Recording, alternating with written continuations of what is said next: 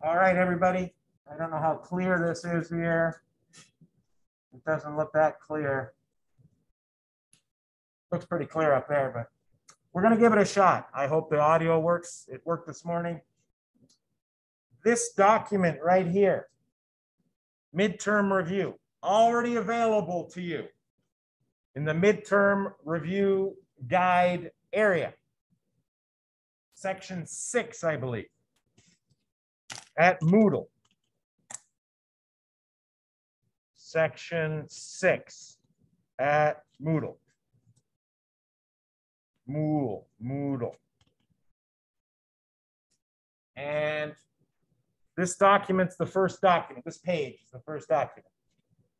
The rest is a collection of stuff from other areas already in Moodle too.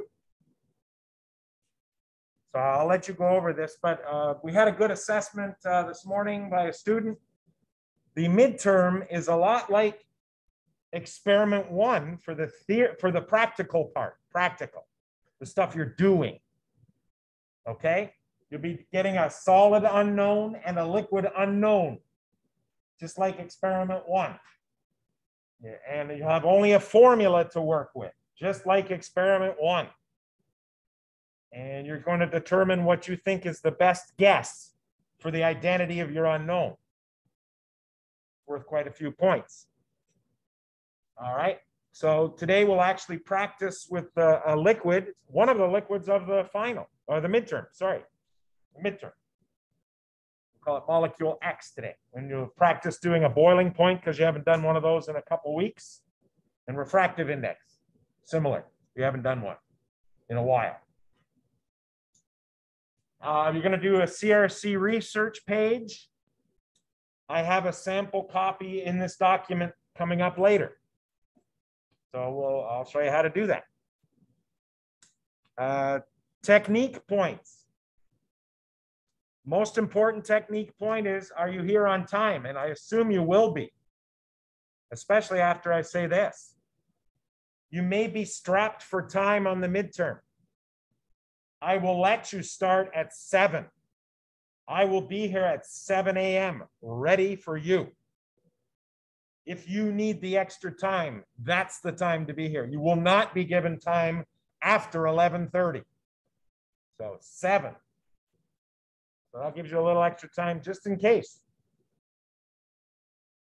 And being here by 7:40, which is the official class time, if you're not here by that time, you will lose 5 points on this midterm. Much like if you're late for class, you're losing technique points every week. Same story. All right. Now, next, the week after next week, which is the week after the main midterm, you have another section of the midterm that takes about an hour. It's called the midterm procedure section. Do not study for it for next week.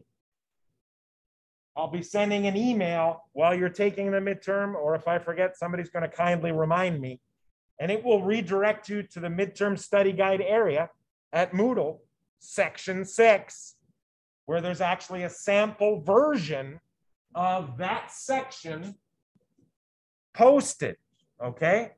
Oh, I should be pointing here because this is the one in the video. There is a sample version of this already posted. Study for it after the midterm, after next week's midterm. The theory is more than half the midterm. We want students who both know how to do things and understand why they're doing them. That's why we put such a value on theory in a lab course. Uh, there'll be a reading a graph exercise, which I'm not going to tell you how to do. This is like uh, general education outcomes review. Can you read a graph? We hope you can by this time of your college careers. It's a graph that's something you've looked at already, but I'm not going to say more than that. Raoult's law question. I'll put a star there because I don't have a review item for that. But we'll come, we'll, uh, we'll come back to that, I hope. Uh, distillation definitions, you, uh, we have a handout. that we did together. And I expect you to know everything on that handout. I will just remind you verbally the words you need to know. You need to know what's called a theoretical plate. You need to know what's a most volatile chemical and a least volatile chemical. You need to know how can you achieve more theoretical plates? In one in the experiment we did, we used a magnetic spinning vane. And you need to discuss, like we discussed in class, how that achieves more theoretical plates.